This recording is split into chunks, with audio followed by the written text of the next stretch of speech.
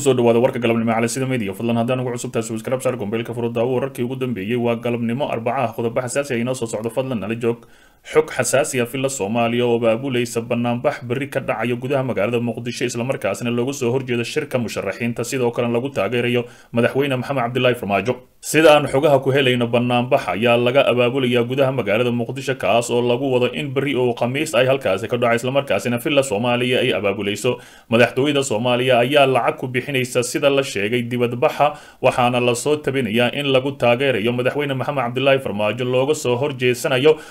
mucaaradka ku shiraya magaalada muqdisho islamarkaasina loo arko inay yihiin qarandumis ilo ka agdhow xafiiska madaxweynaha dalka ayaa inoo xaqiijiyey arrintaani. Si gaar ahi waxaa dibadbaxa loogu xil saaray inay qabanqaabiyaan xasan cabdulaahi maxamed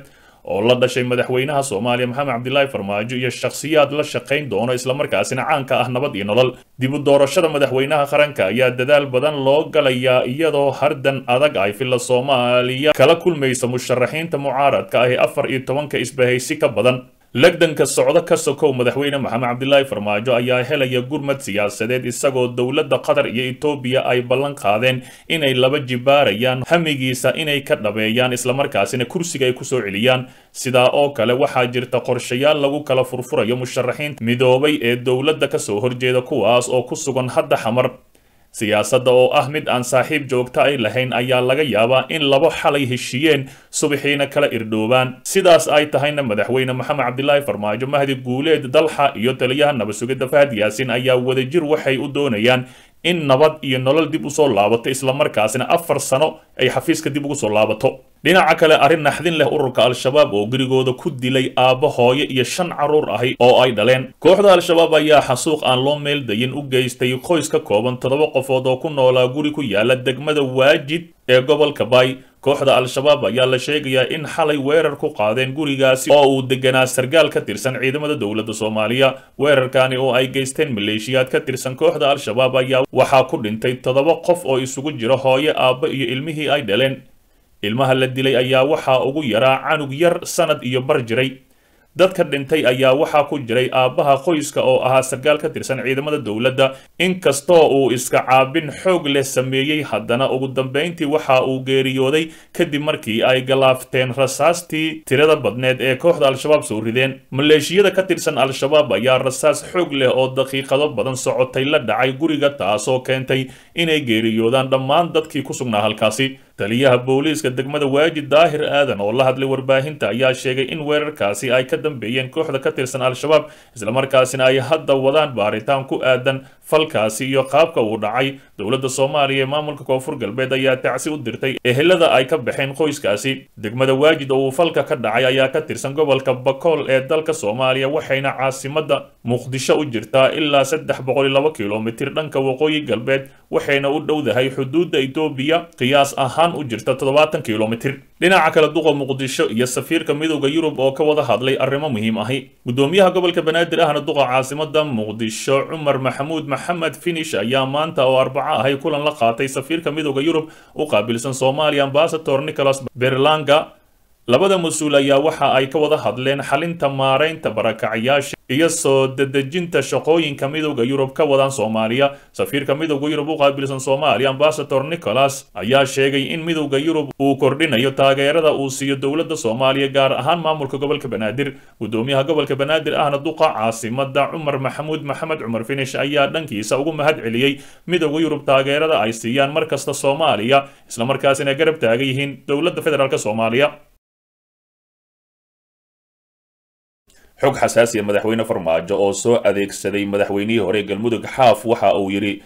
xalaalba ma ahan shirka musharaxiinta mucaaradka ee ka socda muqdisho. Madaxweynihii hore galmudug mudane axmed ducaale geelle xaaf oo la hadlayay warbaahinta ayaa ka warbixiyey aragtidiisa ku aadan shirarka siyaasadeed ee magaalada muqdisho ugu socda musharaxiinta mucaaradka islamarkaasina sida weyn u dhaliilsan dowladda filla soomaaliya xaaf ayaa sheegay in shirkani uusan ahayn mid xalaal ah islamarkaasina aysan ka soo bixi doonin wax natiijo ahay sida uu hadalka u dhigay. Madaxweynihii hore galmudug ayaa sababta ku sheegay in madaxda qaar ee shirka fadhiso aysan dalka waxba u qaban isaga oo si gaar ah u weeraray ra'iisul wasaarihii hore soomaaliya xasan cali khayre ra'iisul wasaarihii hore soomaaliya dalka xasan cali kheyre oo inta ciidamo ii keensaday xilkaygii iga soo ciirsaday dhuusamareeb ayaa ka mid ahi shirka muqdisho muxuu shir ka noqonayaa xalaalba ma ahane ayuu yidhi axmed ducaale geelle xaaf sidoo kale wuxuu soo hadal qaaday tabashada ay musharaxiinta ka muujinayaan guddiyada doorashooyinka wuxuuna sheegay in keliya ay wadaan marmarsiyo iyo inay carqaladeeyaan doorashada soo socoto isaga oo hoosta ka xariiqay in la wada ogaa sidii ay ahaayeen guddiyadii uu sannadkii laba magacaabay xasan sheekh maxamuud si kastaba muqdisho ayaa martigelinayso shirar siyaasadeed oo iska soo horjeeda kuwaasi oo looga hadlayo doorashada gaar ahaan muranka ka taagan guddiyada doorashooyinka qaranka. Xaaf ayaa si gooniya u beegsaday ra'iisul wasaarihii hore ee soomaaliya xasan cali kheyre maadaama dagaal culus uu ku qaaday. Xasan cali khayrena waxaa hore u soo adeegsaday madaxweyne farmaajo. Si kastaba ha ahaatee xaaf ayaa iminka la filayaa in villa soomaaliya ay ku soo shubatay. Dhinaca kale shirka musharaxiinta oo galay maalintiisii shanaad iyo wararkii ugu dambeeyey magaalada muqdisho caasimada soomaaliya waxaa weli ka socda shirka midowda musharaxiinta oo galay maalintiisii shanaad. Shirkani oo gabagabo marayo ayaa waxaa ka qayb galayay in ka badan toban musharaxiin oo u taagan xilka madaxweynaha ee doorashada soo socota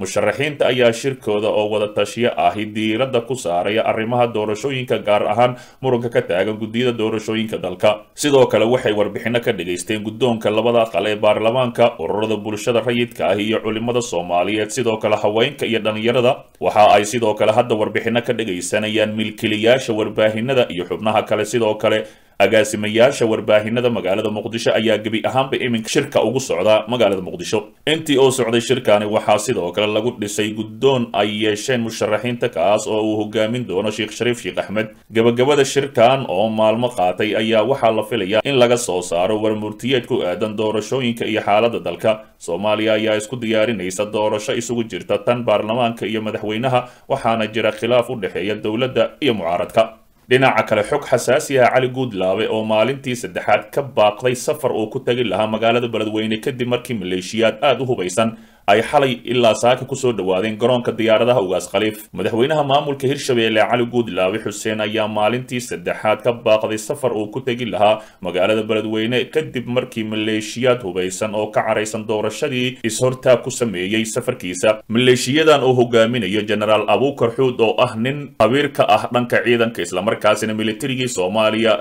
ee dowladdii maxamed siyaad bare ka soo shaqey jiray oo ahaa musharax xilka madaxweynaha hirshabeelle balse laga hor istaagay ayaa wacad ku maray inay dagaal adag la geli doonaan cali guudlaabe haddii uu ka soo dego magaalada beledweyne oo lagu wado in xaflad caleemasaar ahi lagu qabto. Islamarkaasina markii saddexaad ayaa laga baajiyey. Wararka qaar ayaa sheegaya inay socdaan dadaallo lagu doonayo in lagu xaliyo tabashadaasi balse ma jirto wax guulo ahi oo ilaa iyo hadda laga gaaray. Maleeshiyaadkan oo fariisin ka samaystay deegaanka ceelgaal ayaa halkaas ku haysta hub aad u fara badan waxayna diyaar u yihiin inay magaalada u soo dhaqaaqaan haddii ay soo degto diyaaradda sida wafdiga cali guudlaabe doorashada ka dhacda magaalada jowhar waxaa loo arkaa mid afduub ahayd inkastoo markii dambe mucaaradka iyo muxaafadba ay si isku mid ahi u soo dhoweeyeen. Si kastaba ha ahaatee cali guudlaabe ayaa iminka xaaladda ay ku xun tahay islamarkaasina la leeyahay farmaajo ayaa dusha kugu keenay hirshabeelle. Annagana hiiraan kama soo degi kartid